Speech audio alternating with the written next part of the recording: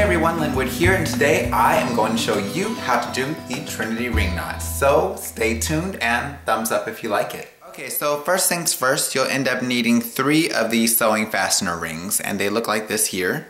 Let me see if I can get that in there for you. And they come in a package uh, about like this.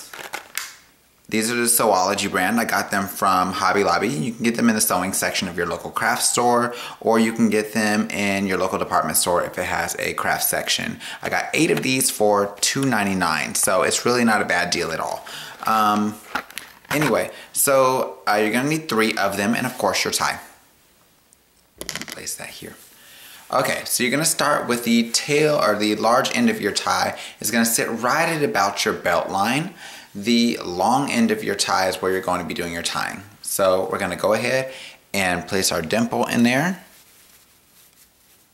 Move it to the center and cross the thin end over the large end. Bring it up and around through and bring it back to the side you started on. From there, you're going to go ahead and take it around the back and as you guys can see, I have a contrast tie on, so this is a Perry Ellis tie.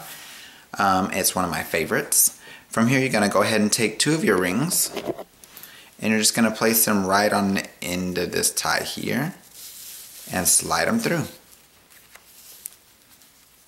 Super easy. Then we come around the back, so I'm literally just taking it right around the back like that. Okay?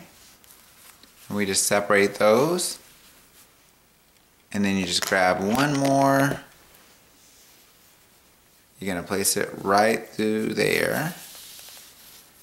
And that one goes in the center. So then you just go ahead, lift it on up. Let me turn to the side here. And you're to take the tail end of your knot right through this little portion here.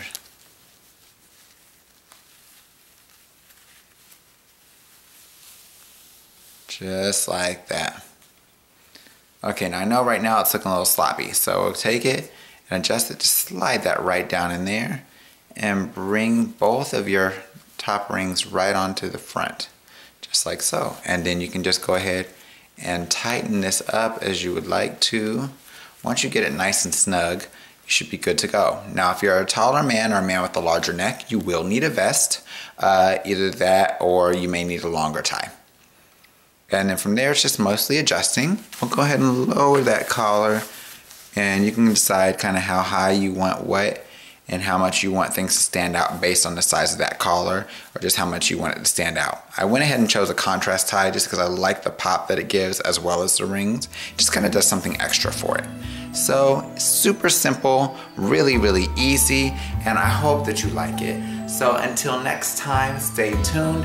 Thumbs up if you like it, of course. Please subscribe and take care. God bless. You're fancy now.